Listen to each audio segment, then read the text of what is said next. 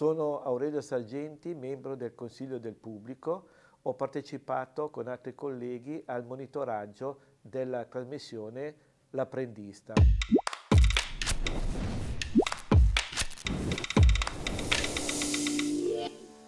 Sono Paolo Guglielmoni, lavoro alla RSI, in questo caso si parla di una trasmissione che ho prodotto e condotto su Rete 3.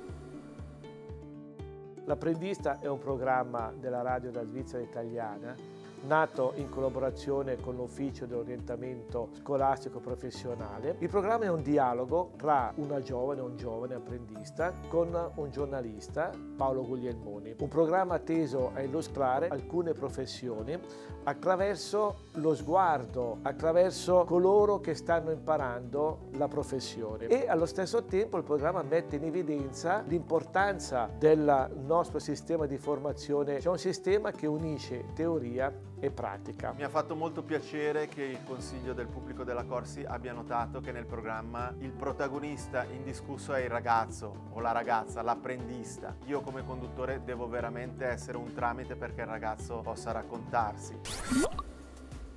Paolo Guglielmoni è stato un bravo intervistatore aiutato anche dalla sua innata simpatia, che ha eh, condotto il programma in modo eh, sereno, in modo eh, tale da poter mettere a loro agio eh, gli intervistati. Se dobbiamo trovare una pecca, diciamo che eh, Paolo Guglielmoni ogni tanto forse esagerava con le battute. Magari questo poteva mettere in difficoltà l'intervistato. La critica è sicuramente giusta. Eh, insieme al partner Dex eh, abbiamo fatto una selezione dei ragazzi, quelli che volevano esserci a Rete 3 sono stati chiamati, poi c'era una preparazione telefonica e ancora una preparazione un'ora prima della trasmissione e io parlavo con il ragazzo per capirne la personalità e la passione per il lavoro che stava imparando. Se durante la trasmissione il ragazzo, perché non è un professionista della comunicazione, non riesce a tirarmi fuori delle cose che so che sono di interesse pubblico, la mia tattica di intervistatore è stuzzicarlo o con una battuta o con una provocazione. Quando la cosa riesce, il pubblico ha qualcosa di più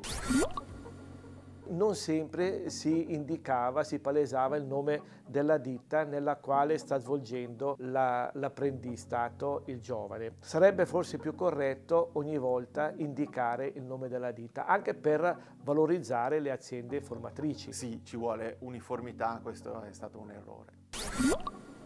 Il sito internet della trasmissione ha nella pagina un titolo, Trova una lavoro su Rete 3. È un titolo che noi abbiamo trovato fuorviante. Andrebbe forse sostituito con un altro titolo, per esempio Scopre i mestieri su Rete 3. Inoltre non sono state registrate tutte le puntate, non sono tutte reperibili e non sono titolate, quindi diventa veramente difficile per il fruitore andare a trovare la puntata desiderata. Critica anche questa giusta, la parte online del programma leva un po' una rigasciata, come si dice in dialetto, questa è responsabilità mia, l'errore è stato corretto, adesso sul podcast di Rete 3 si trovano tutte le puntate ben indicizzate, ben titolate. Alla fine di ogni puntata si dovrebbe ricordare chiaramente ai radioascoltatori gli indirizzi utili per poter avere tutte le informazioni che vengono date durante la trasmissione. Ci sono state quattro edizioni dell'apprendista, all'inizio eravamo partiti col piede giusto utilizzando il sito orientamento.ch per dare al pubblico eh, tutte le posizioni di tirocinio aperte in quel momento del mestiere che stavamo raccontando. L'abbiamo fatto all'inizio, non abbiamo più continuato, anche qui è mancata l'uniformità.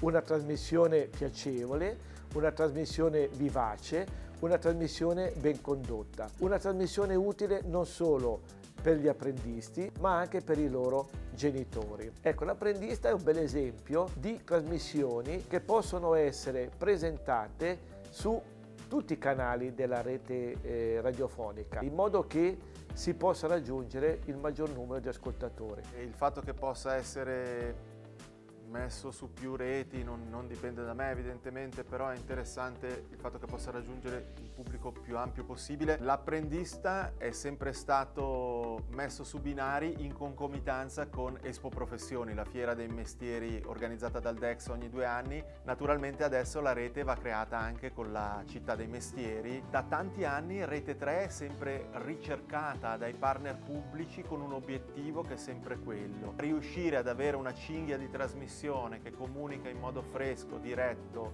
eh, quello che è il messaggio importante, è stata una chiave di successo per noi e l'apprendista si iscrive in questo solco.